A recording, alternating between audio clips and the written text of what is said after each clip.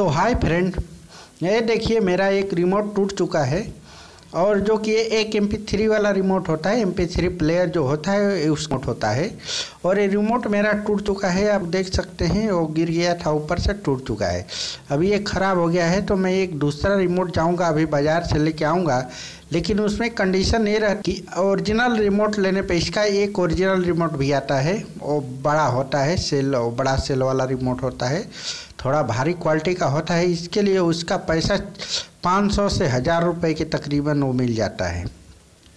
जितना अच्छा क्वालिटी होगा, उतना अच्छा रेट होगा। मतलब 400 500 के ऊपर ही हो जाता है।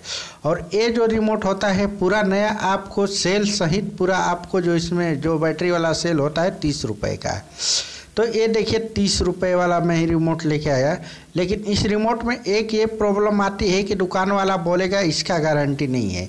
चेक भी नहीं करेगा, आप ले जाओ और तुरंत तीस रुपये का रिमोट है, वो चेक भी नहीं करेगा, आपको दे देगा। तो उस दुकान पे ही हम कैसे इसको चेक कर सकते हैं, वो मैं आपको दिखा देता हूँ। आप तुरंत एक मिनट में आप खुद अपने से ही चेक कर सकते हैं। दुकान वाले का कोई मतलब नहीं। वहीं पे आप बोल सकते हैं रिमोट ख़राब है तो दूसरा रिमोट आप ले लीजिए। लेकिन आप घर पे लेके चले आते हैं तो इस रिमोट का कोई मतलब नहीं है। दोनों एक ही रिमोट है, आप लोग देख लीजिए। केवल कलर का थोड़ा बहुत डिफरेंट होगा। तो इस रिमोट को कैसे चेक करना है, वो मैं आपको दिखा देता हूँ। तो इसके पीछे एक पन्नी लगी हुई है। इस पन्नी को हमको केवल निकालना होगा, क्योंकि इसका सेल को जो होता है कनेक्शन उसको कट करने के लिए इस पन्नी को डाला जाता है कि सेल डिस्चार्ज ना हो। तो इस पन्नी को निकाल देते हैं, फेंक देते हैं। अब उसका कोई काम नहीं है और ये रिमोट है, आपके पास कैमरा तो आजकल हर किसी के पास स्मार्टफ़ोन है। या तो कैमरा है। तो कोई भी कैमरा होगा, ये जो इसका एलईडी होती है इंफ्रारेड एलईडी होती है। और इंफ्रारेड एलईडी को हमारी आँखें नहीं देख सकती हैं। बहुत रियर केस में बहुत ध्यान से देखेंगे तो देख सकती हैं, नहीं तो कभी कभी तो वो भी नहीं देख सकती हैं। और इसका एक ही सोल्यूशन है कि जो कैमरा होता है, चाहे मोबाइल का हो, चाहे डीएसएलआर कुछ भी हो, वो कैमरा इस एलईडी को देख सकता है। जो इंफ्रारेड एलईडी होती है रिमोट की, इसको देख सकता है।